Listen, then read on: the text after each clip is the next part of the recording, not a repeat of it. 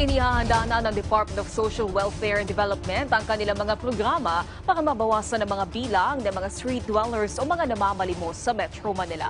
Sa laging handa public briefing, sinabi ni Secretary Erwin Tulfo kabilang ang mga reception centers na magsisilbing tuluyan ng mga masasagip na street dwellers. Ang kanilang inihahanda. Bukod dyan, pinag-iisipan din nilang tulungan kahit ang mga indigenous people na mabigyan ng puhunan upang magkaroon ng mga pwesto sa mga palengke sa Subic o sa Central Luzon.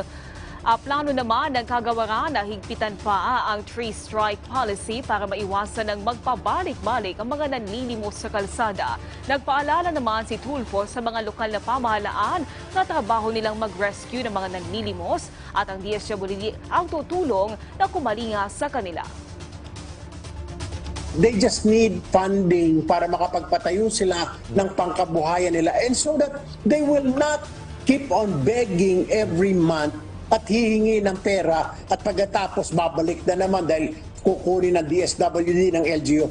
We really have to stop this and think about it yung long term